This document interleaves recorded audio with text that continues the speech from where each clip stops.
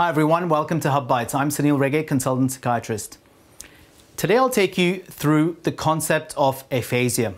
As you know, Bruce Willis, the actor, was recently diagnosed with aphasia, and there's been a lot of discussion around and recognition of this particular condition. So let me take you through a simplified understanding of what aphasia actually means.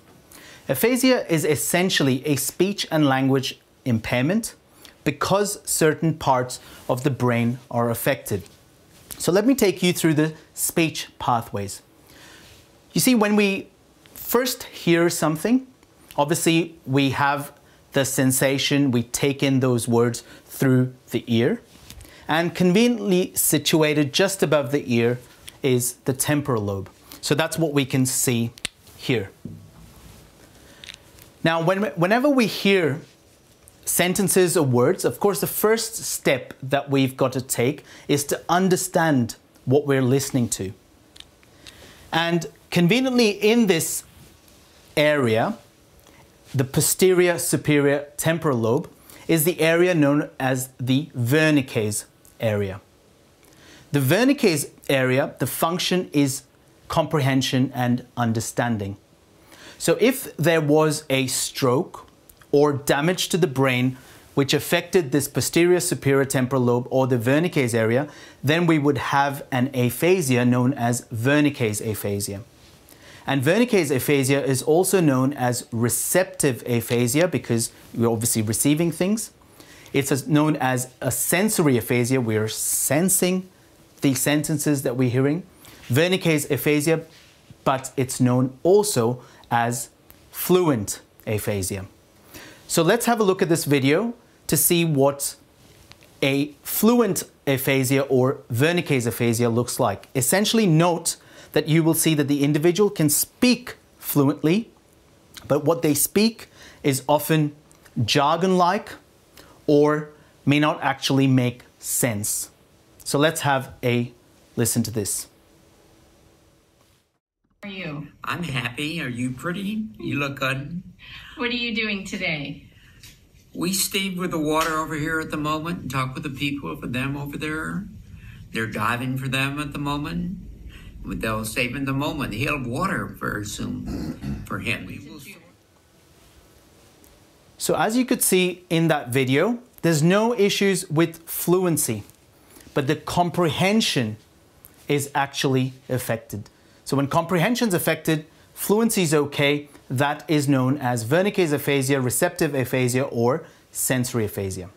Now, the next step in the speech pathway is that we need to, of course, after understanding, we need to communicate and talk. So what happens is there is the connection from the temporal lobe to the frontal lobe.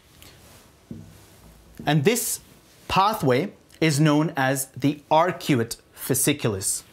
So AF, if I put it here. Now the arcuate fasciculus helps us specifically with repetition. So if the arcuate fasciculus is affected, then we have problems with repetition. And this particular test is done, we carry out a cognitive assessment known as the mini mental state examination, which generally, if individuals have memory issues, this is a screening test to rule out dementia. We have a test where we ask the individual to repeat no ifs, ands, or buts. And generally, if we find an abnormality there, then there may be a speech impairment or aphasia present. But if only repetition is affected, then that aphasia is known as conduction aphasia, and it's often due to the arcuate fasciculus, the conduction pathway being affected. The third area is the frontal lobe. Now, the frontal lobe generally takes care of our motor functions. Now, when it comes to a speech, of course, it is going to help us speak fluently. Now, this frontal lobe area that is responsible for speech is known as Broca's area. Now, if that part of the brain is affected due to stroke or uh, brain injury, etc., then we end up with a aphasia known as motor aphasia because it's a motor component, expressive aphasia because we have to express it. It's known as Broca's aphasia because that's the part of the brain affected. and it's known as a non-fluent aphasia because speech is really effortful and is actually not fluent. So compare it to Wernicke's where speech is absolutely fluent, but comprehension is affected. Here, comprehension is fine, but they can't actually express it. So Broca's aphasia is known as expressive aphasia or also known as a fluent aphasia. So let's have a look at Broca's aphasia or non-fluent aphasia in this particular video. And how old are you?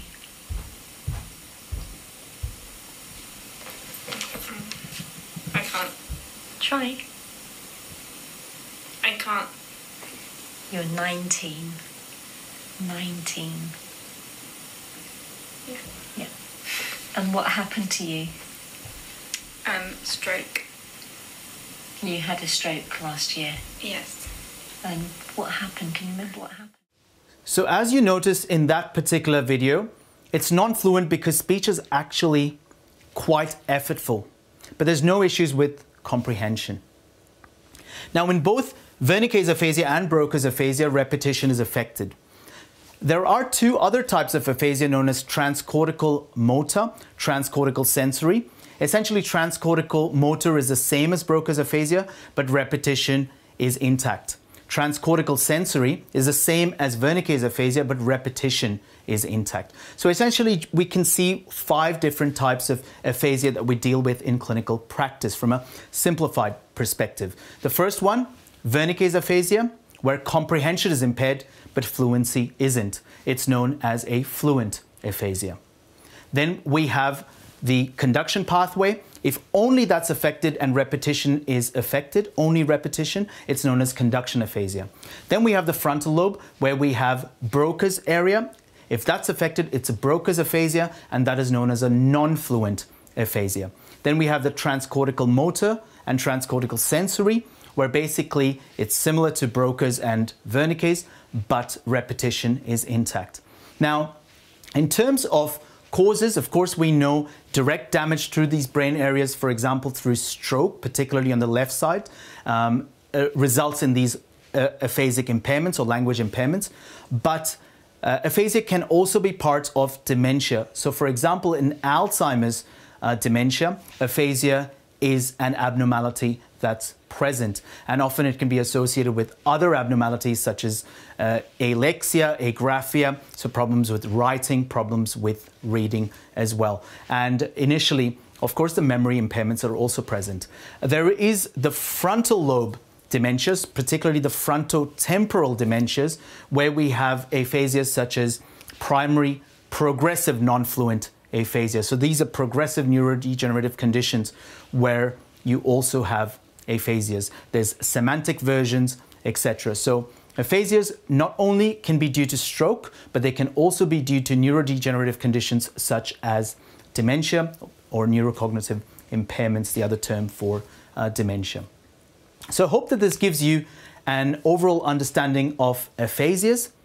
And if you liked the video, of course, do leave us a like. I look forward to seeing you in another edition of Hub Bite soon. Bye bye. Take care.